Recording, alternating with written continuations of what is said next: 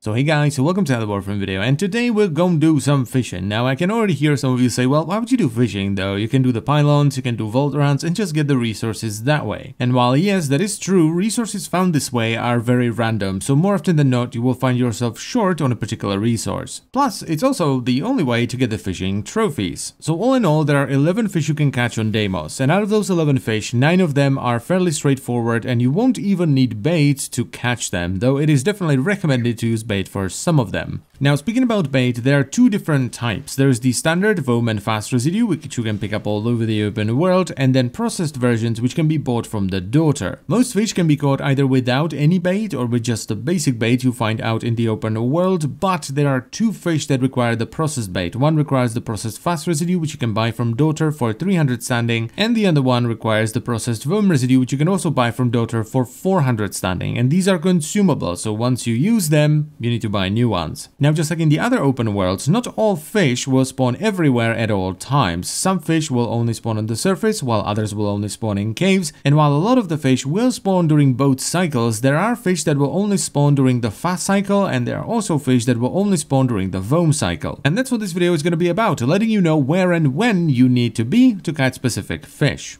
One more thing before we jump into it though, and that thing is fishing hotspots, which is kind of like this bluish hue you will sometimes see on top of the exocrine, which you can currently see, kind of, to the right of my character. It is not very obvious, which is why you should run the Oxylus if you have him, because the Oxylus will mark these with a little fish icon on the map. So starting off we have the Kymaeros, which will spawn on the surface during both the Fass and the Vome cycles, and it is extremely common. And because of that, it is a very good source of the benign infested tumor, the fermented bladder, and the saturated muscle mass. Up next we have the Cryptosuctus, which will only spawn on the surface during the Fass cycle, it doesn't require any bait and it is very common. This one can be cut into the benign infested tumor, ferment bladder and pustulent cognitive nodule. Then we have the Glutinox, which will only spawn on the surface during the Vome cycle and while it is pretty common, you can actually use the Fass residue to bait out more of them. And when you cut this one, you get some benign infested tumors, some ferment bladders and then you get one sporulate sac per fish. Next on the menu we have the Ostimyr, which will spawn on the surface during the Fass cycle, and while they are fairly common, you can bait out more of them with the Fass residue. However, they will only show up if there is a fishing hotspot. And this one cuts into the benign infested tumor, tubercular gill system, ferment bladder, and saturated muscle mass. And finally, we have the Aquapulmo, which is kind of like the hardest fish you can get on the surface. Because it requires the Vome cycle to be active, you need to be inside of a fishing hotspot,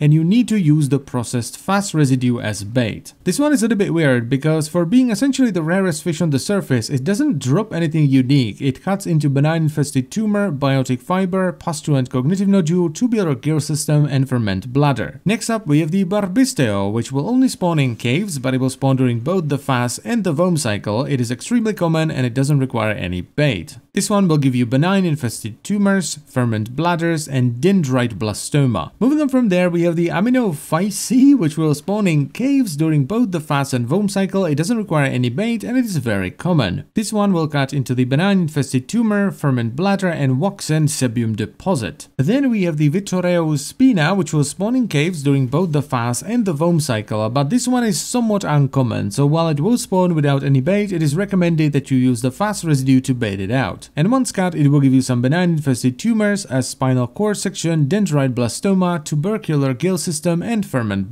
bladders. Up next we have the Duroid, which will only spawn in caves, but it spawns during both the Fass and the Vome cycle, however it requires a fishing hotspot and Vome residue to bait out. Now I think I saw a few of these without using the residue, but since the residue is so cheap, you might as well use it to bait out more of them. And it cuts into the benign infested tumor, tubercular gill system, and biotic fiber. After that we have the Chondricord, which will once again spawn in caves during both the Fass and the Vome cycle, but just like the Duroid, it also requires a fishing hotspot and it is highly recommended to use Vome residue to bait it out. And this one will give you benign infested tumor, tubercular gill system, and spinal cord section. And the final fish on the menu is the Myxostomata, which will only spawn in caves during the Fass cycle, and this one requires the processed Vome residue to bait out. Now, just to be safe here, I would also go to a fishing hotspot if you want to look for this thing, because while it shouldn't require a fishing hotspot to spawn, the bait is 400 standing, so you don't just want to throw it away for nothing. And this one cuts into benign infested tumor, tubercular gill system, and cranial foremount. And that is it. It's pretty straightforward, is it not? So as always guys, I thank you very much for watching. I hope you've enjoyed the video and it was helpful. I wish you good luck when you go fishing